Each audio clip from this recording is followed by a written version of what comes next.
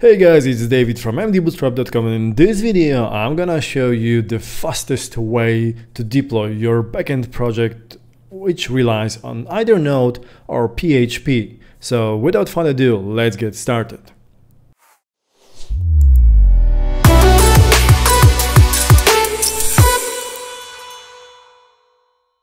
In order to start, we're gonna need MDB CLI. If you don't have it yet, please navigate to mdbootstrap.com slash CLI and then you're gonna find the instruction how to install it. MDB CLI stands for Command Line Interface. So once you go to mdbootstrap.com slash CLI, click on the Get Started and you're gonna find instruction and video how to install MDB CLI on your computer. Let me just quickly remind you that you need to have node and npm installed and once you have it just type npm install minus g mdb CLI that's gonna install mdb CLI on your computer. Now once you have that open a command line and navigate to location of your choice. Now I'm gonna create a new project using mdb CLI so I'm gonna type mdb init minus minus blank. That will create an empty project. I'm gonna call it node because I want to have node project in it now it's time to choose which package manager we want to use. You can choose either npm or yarn. I'm gonna use the first one npm and then I'm gonna go through wizard accepting all default values. Once we have that, we can see that our project has been created and we're gonna navigate into that project. Now I'm gonna open it in uh, editor. So this is our project, it's empty now, so I'm gonna create index.js file. Now let's write some code. So I'm gonna write very simple Node.js application. So let me quickly do that.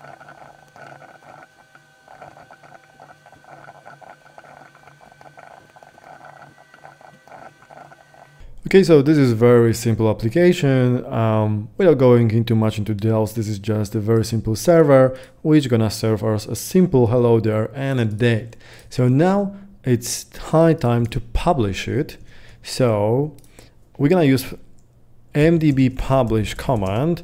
Now, in case of front-end projects, we just need to type mdb publish and that's gonna be deployed into our server. So if you're using Angular, React, Vue, or JavaScript, it will work right away. In case of backend projects, we need to specify which kind of backend we want to use. So if we type minus minus backend, and type enter, we're gonna see a list of supported backend platforms. So in our case, let's use, let's say Node 10.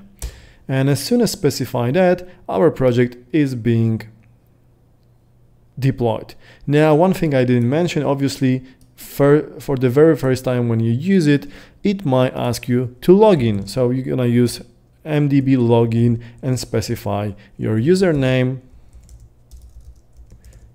and password which you use to log into mdbootstrap.com webpage. Now, once you deploy it, you're gonna see this message, success, your app is running on, and you're gonna see this URL and port. So now let's see whether it works. And yeah, this is working fine. So our application, our backend application is working perfectly fine and has just been deployed to MDB servers. So you can share it with entire world. As you can see, we didn't um, include SSL. This is something which you have to do on your side, on your application side.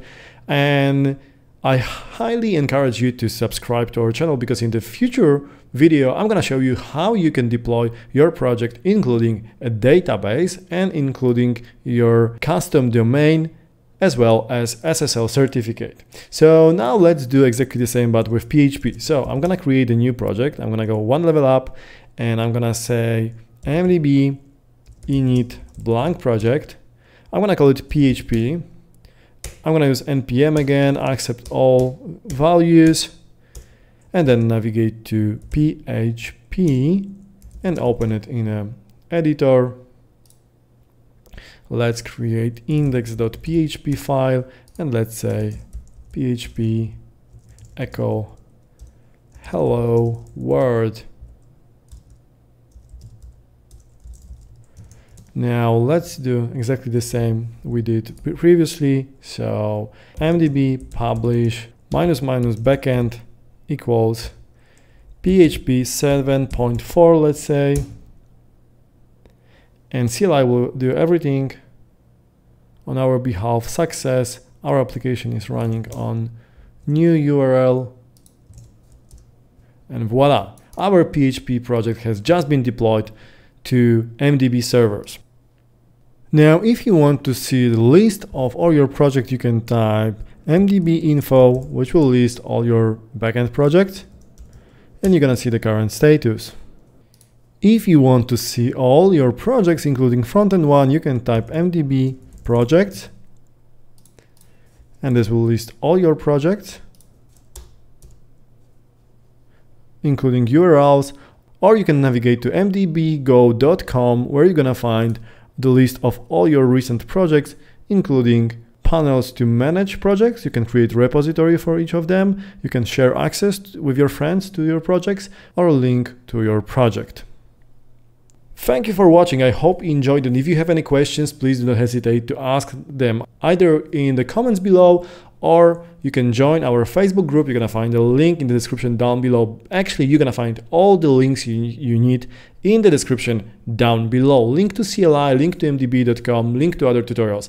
And then again, thank you very much for watching. If you enjoyed this video, don't forget to subscribe our channel and like this video uh, because as I said, in the future videos, in the next video, I'm gonna show you how to use database and how to create the full project, including front-end and back-end side, and deployed it with single command like you just seen. Thank you for watching and see you in the next video.